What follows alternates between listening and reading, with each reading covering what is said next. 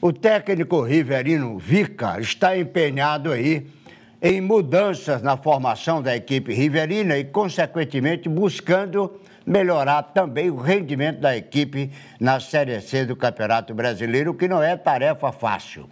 O River fez seis jogos na Série C do Brasileiro e dois com o Botafogo da Paraíba pela Copa do Brasil. Oito jogos sem nenhuma vitória. A defesa riverina sofreu 12 gols. O ataque só marcou seis. Então a produção do time é ruim, negavelmente é ruim. O ataque não funciona bem, seis gols em oito jogos.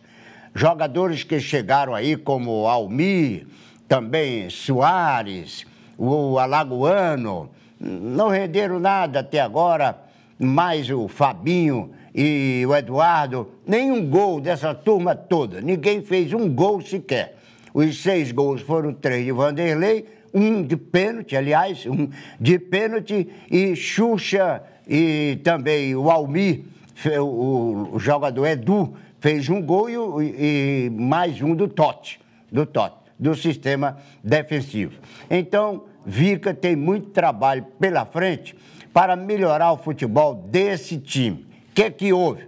Que aquela, aquele futebol compacto, bem jogado, marcando bem, uma defesa fortíssima, um meio-campo que ajudava defensivamente e atacava também, não funciona mais, não tem funcionado.